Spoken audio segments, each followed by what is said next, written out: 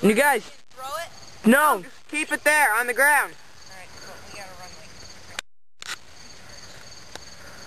Gotta run like retards. I can't see anything. Hey, Luke, go. Jesus. Oh, that was crazy. I don't even think I